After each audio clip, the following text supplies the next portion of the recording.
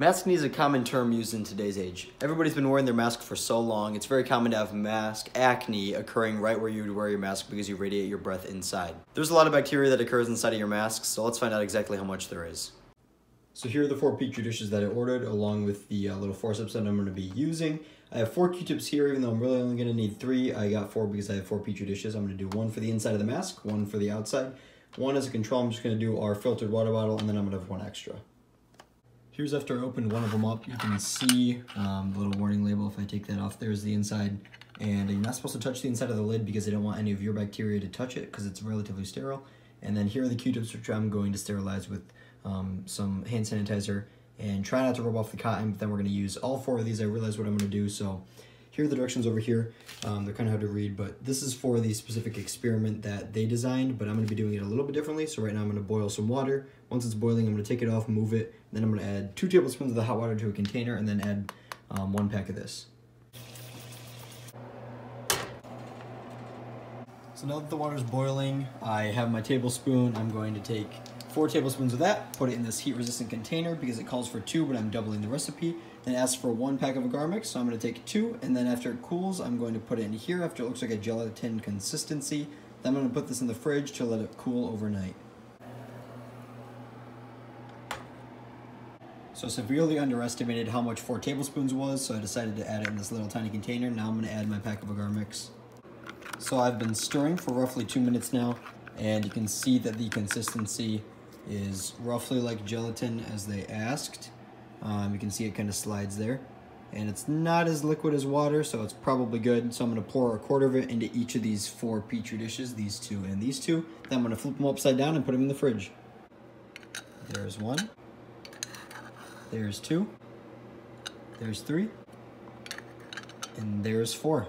And now we check back in tomorrow morning. So here's the mask I'm gonna be using tomorrow. I've worn this one for a week and haven't washed it. And here's a mask that I'm going to wash right now and then I'm gonna hang it up to dry until I use it tomorrow. All right, washing is officially done. Now we hang it up to dry for the night. All right, so it's been 12 hours later. I removed all of the agar plates from the fridge. Here's the 12 or the one week mask that I haven't washed. Here's the one that dried. I washed that last night and now I've got my two Q-tips. So I'm gonna use one end. This one right here, I don't know if you'll be able to see it, if I can focus on it there. Um, I just poured our water on that from our supposedly clean filtered water. So now I'm gonna rub that on the agarose here. And then I'm gonna take the other side, rub it on the inside of the mask. Then I'll do the inside and outside of the one week old mask. So this one's gonna be the clean and then the one week old.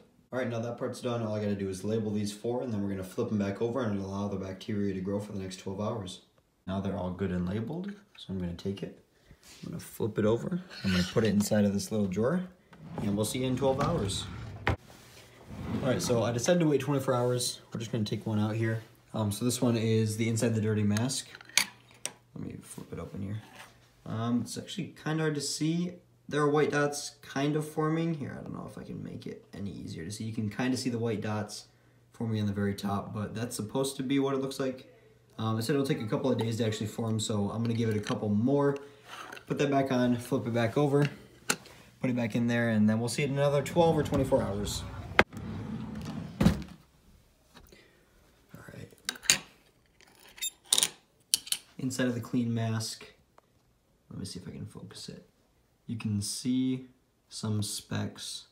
I'll try and get my finger. One there, one there, one there. So there are three little tiny specks.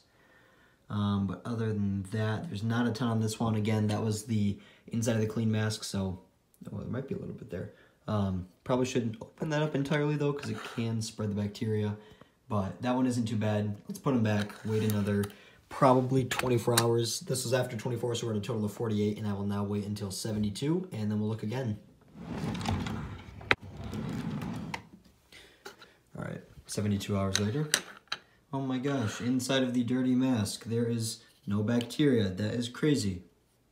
So obviously that one at the end was fake. I recorded that from the first probably one hour that I did it just to show that there was no bacteria. So I'll put a little picture down here at the bottom of all of them lined up. Um, and then I'll put a little label, I'll do a voiceover about which ones were which and why they didn't really have that much bacteria on them. So the Petri dish in the top left corner is from the inside of the unwashed mask. The top right is from the outside of the unwashed mask.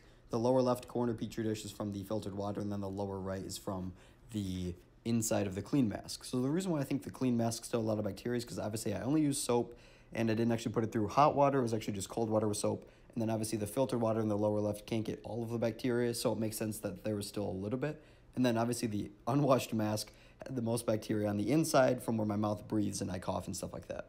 Thank you for checking out this experiment with me to see how much bacteria is exactly inside of your mask. Over the past three days, I have been constantly checking roughly every 12 hours. Some things weren't very climatic, so I decided not to record them. After I saw a couple of specks, I decided to record it, and then the final product, um, you obviously saw in that picture that I showed and did a little voiceover for describing which petri dish was for which part of the mask that I swabbed. If you do want to try this experiment out for yourself, I will link in the description a pack that you can buy probably off of Amazon or if I find something probably just the cheapest version. If it doesn't have a pack for how to do the exact directions, you can just boil some hot water, mix in the powder, rub it in the agar plate, wait for it to cool, and then you can swab your surface with a sterile um, swab Q-tip thing and then wait probably 48 hours uh, more or less in order to see the bacteria grow or you can buy pre um, pre-made containers that already have the agarose gel in them. So those would probably be much easier just so you don't disrupt the process or maybe make it wrong and then have to buy more and worry about buying extra just in case you do mess up or something like that. So you can check out both of those in the description. And if you did enjoy, don't forget to leave a like, leave a subscription so you don't miss out on any new videos I have coming out. And that's all I got. Peace.